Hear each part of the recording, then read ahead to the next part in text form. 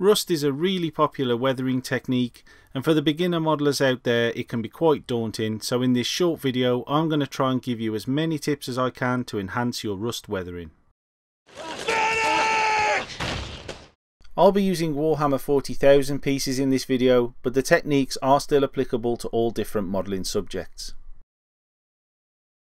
Ideally, before you even begin weathering, you need to decide whether you want the rust to be the primary finish on your model with a little bit of paint clinging onto the surface like on that 60mm base, or whether you want the paint on the model to be the primary finish with the rust showing through as an effect. This will help save you a lot of time and it will help choose the techniques that you apply. I'm going to get started on a primarily rusty finish and the first tip that I'll suggest to you is that you learn how to wet blend your paint on the surface of the model. This will allow you to build up a really varied base colour before you apply any pigments or sponge weathering and it allows you to add some highs and lows giving you really good control over how the overall model finishes up. You can add subsequent layers because the paint's nice and thin and it won't build up to obscure details or give you a lot of texture. Over the top of these layers you can then paint with a sponge. And tip number two is turn your sponge or you'll get those repetitive patterns and you'll have to add loads of paint to blend them out. Even after adding all that blending, if you don't turn the sponge, sooner or later some repetitive patterns will appear. These little identical chipping groups will make it really obvious that you used a sponge and that will undermine your efforts to create a realistic rust finish. All you need to do is turn and lean the sponge gently and it will vary the pattern that gets applied and that'll look much more natural and realistic. Tip number three is to use a piece of paper or card as a mask to allow yourself to build up some sharp edges using the sponge. This method is quite sloppy and it doesn't allow you much control so just by using a mask like this you can create some nice sharp edges to enhance your definition. Tip number four, don't forget your washes. It's easy to get carried away with rust and think that that finish on its own is enough. However, a good old application of wash can really bring out the details and enhance the contrast. You might darken your overall paint finish off, but it will help to bring out those lovely little details that enhance the model. Speaking of washes, tip number 5, you can use washes as a pigment fixer. This allows you to introduce pigments which gives you loads of options for adding some variety to your finish. Here I'm just applying some Agrax Earthshade to the surface of the model and then using that to blend some light rust pigments from MIG. Tip number 6. Work in layers and build up depth by doing the whole thing twice or maybe even three times. This may sound like a waste of time but it really will add a lot to your finish. Tip number 7. Add even more to your finish by mixing in some purple. I'm using Screamer Pink from Citadel and I've diluted it down to a glaze. If you look at pictures of really rusty metal, as it gets older it goes a really angry dark purple and adding that glaze just gives the rust a bit of age. Before I move on to tip number 8 here's some bonus footage of some hazard stripes. After applying the masking tape I'm tapping in the yellow with a sponge and this paint's clinging on for dear life over corroded metal so it doesn't need to be neatly applied.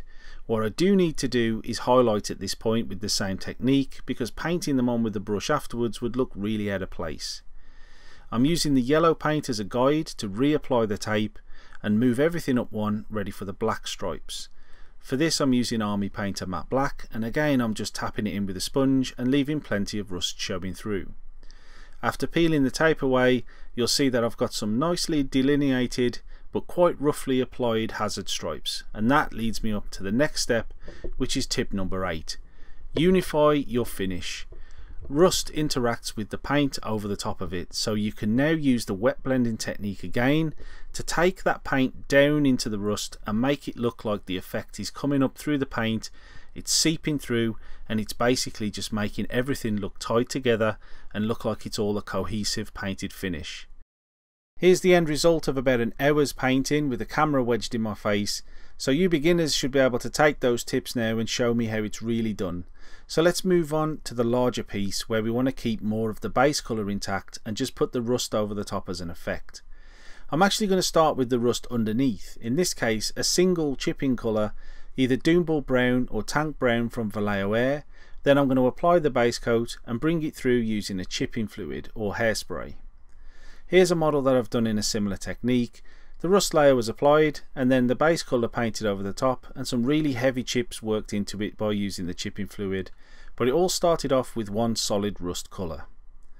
In keeping with the Citadel theme on this video, I'm going to use the Doombull Brown and I've thinned it down with some UMP airbrush thinners to give me a nice smooth coat of that rusty brown paint.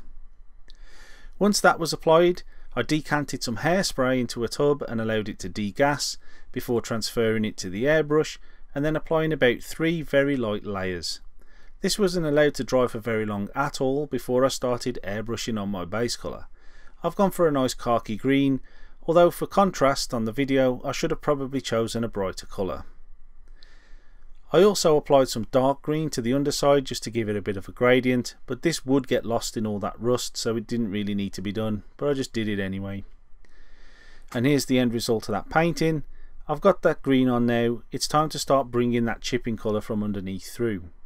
By brushing on ordinary tap water, this soaks through the top layer of paint and reactivates the hairspray underneath, allowing small flakes to come away and reveals the rusty brown underneath. This is commonly referred to as the hairspray technique and while it is very effective, I've actually stopped using it so much these days because I don't feel like it gives you the control over where the chips are or the size of the chips that you need. So tip number 9 is don't automatically settle for what the hairspray gives you.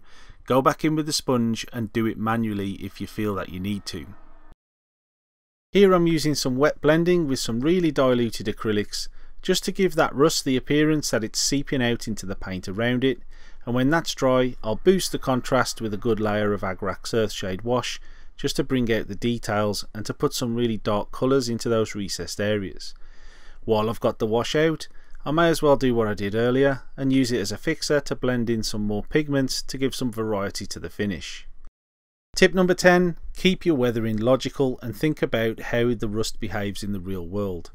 On the vertical sides of the container I've seeped the rust over the paint only along the bottom edge of the rust patches because this is the direction in which water would travel and I also introduced some streaking where the water would bring the rust down over the paint.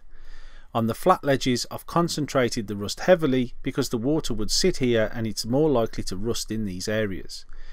Where there's rust on the bottom of the container, I have allowed the seepage to go upwards a little bit, but I've streaked heavily downwards into it to give it the narrative that this area is subject to a lot of moisture.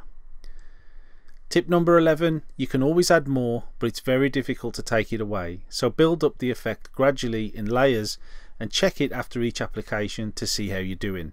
There's nothing worse than making an indelible mistake. Using matte varnish heavily diluted with water as a pigment fixer, I'm now going to carry on to tip number 12, which is one mainly for the wargamers as this bit kinda departs from realism a little bit, and that's to boost your contrast using light rust over a dark base colour or dark rust over a light base colour. When I was painting the green on, I did say I wish I'd used a bright colour for this video, as I would have been able to execute a dark rust finish much easier with fewer steps, However, by using matte varnish instead of the wash, I can apply some light rust pigments and they'll keep their vibrance. This will boost the contrast nicely. For the darker areas, I'm going to go ahead and blend in some of that Screamer Pink to give those recesses the aged dark purple rust effect that I showed in the first segment. And there you go guys, it's looking a bit garish under this bright lamp on my bench, it's not that bright in real life, but there's 12 tips for you beginners to hopefully give your rust weathering a little bit of a boost. I hope there's something in there that's been of use to you, giving you an idea or some inspiration for your own weathering. Please hit that like button, the subscribe button, don't forget the bell, and check back to my channel for more tutorials as I'm going to be remaking a lot of my old beginners videos right here. So thanks very much for watching and I'll see you again next time.